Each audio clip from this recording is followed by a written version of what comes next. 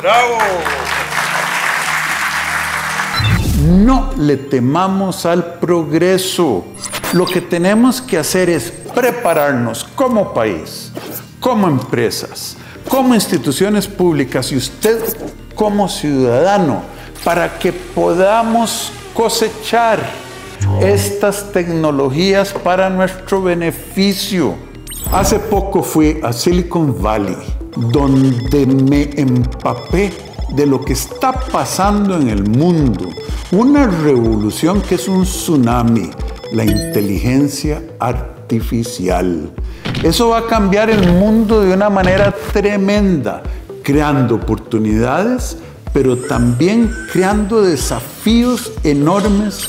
No hay una actividad de política pública en la que no nos podamos beneficiar. Educación, Pensemos en la agricultura, que ya está utilizando drones para mejorar la calidad de los cultivos, la plataforma EDUS para gestionar de manera eficiente los recursos. Y el MISID presentó la Estrategia Nacional de Inteligencia Artificial, ENIA, En Microsoft estamos muy orgullosos de lo que esto implica para la innovación en el país. Con respecto a la ciberseguridad, les digo, no nos van a poder volver a hackear tan fácilmente. 882 millones de intentos de ataques cibernéticos quedaron registrados en el año 2023. A eso nos enfrentamos. La protección de nuestro ciberespacio ha sido nuestra prioridad en esta administración se ha hecho una inversión como nunca antes en Costa Rica para que estas amenazas de todos los días no lo afecten a usted.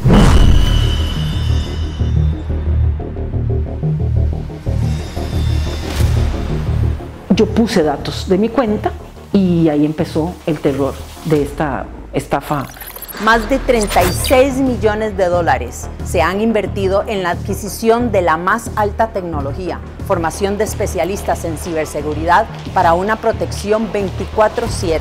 También hemos establecido alianzas estratégicas que nos permite la actualización constante y la adquisición de tecnología de punta. Todos estos esfuerzos nos han hecho mejorar notablemente nuestra posición en el índice global de ciberseguridad y hoy somos un referente un ejemplo a seguir en toda nuestra región.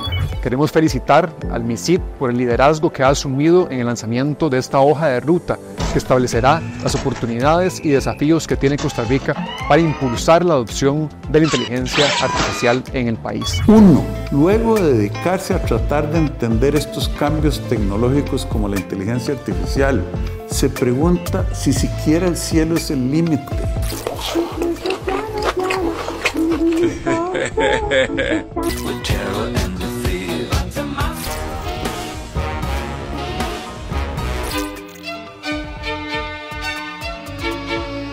Estamos haciendo lo correcto, no corriendo donde está la bola, sino a dónde va a estar la bola, como los jugadores buenos que somos. Buenas noches a todos, feliz descanso. Les mando un abrazo y que Dios nos bendiga a todos.